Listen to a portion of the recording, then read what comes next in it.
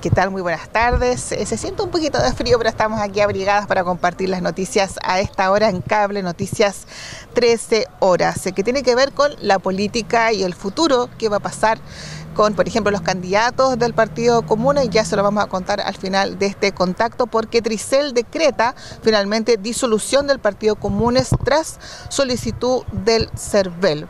Textualmente la resolución dice lo siguiente, el partido no está en condiciones de realizar un manejo institucional de los fondos que les, que les proporciona el Estado.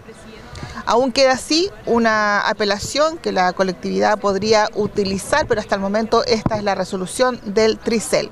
Hay que recordar que a fines del mes de diciembre del año pasado, Cervel solicitó la disolución del Partido Comunes tras presentar una denuncia por infracciones graves y reiteradas, una acción realizada por el director del servicio ante el mencionado Tribunal Calificador de Elecciones.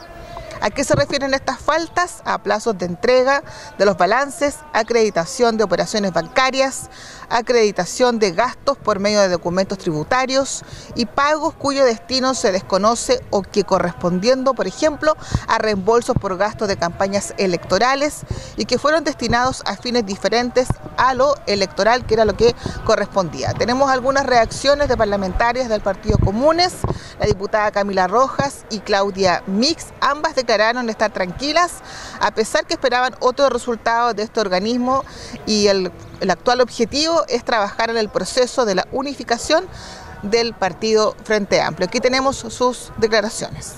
El TRICEL es un órgano autónomo y puede fallar en vista de los antecedentes que maneja y eso es lo que hizo, eso es lo que se debe respetar y precisamente eso es lo que vamos a hacer, respetar este fallo más allá de que no lo compartamos. Estoy tranquila con que fue un grupo de compañeras y compañeros quienes iniciamos las denuncias y hemos colaborado activamente con la justicia para esclarecer todo lo sucedido. No compartimos la resolución del TRICEL desde su evaluación a los tiempos de resolución pero era un escenario esperable y al que nos adelantamos trabajando desde hace un tiempo por el cierre ordenado del partido.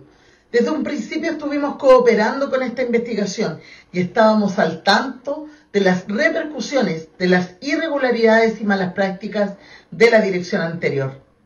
Tras un proceso de saneamiento, intentamos poner el partido en orden y agradecemos los esfuerzos de la actual dirección, quienes se hicieron responsables del abuso de otros. Teníamos entonces las declaraciones frente a esta resolución del Tricel, el futuro del Partido Común es que eh, hasta el momento eh, la indicación de CERVEL es que se disuelva. Nos preguntamos qué va a pasar con los candidatos del Partido Común que, por ejemplo, eh, van a participar en la primaria este próximo 9 de junio y posteriormente en las elecciones del mes de octubre, donde se elige alcalde o alcaldesa, gobernadores regionales y también consejeros regionales. consultamos y de manera interna nos respondieron que esas candidaturas se mantienen y se mantienen en la calidad de independientes del pacto del Frente Amplio. Así que hasta el momento el ser... Em, eh, eh, militantes del Partido Comunes y el Partido Comunes eh, debiera ser disuelto. Estos candidatos se mantienen en la lista, pero bajo el amparo del pacto del Frente Amplio. Adelante ustedes a los estudios.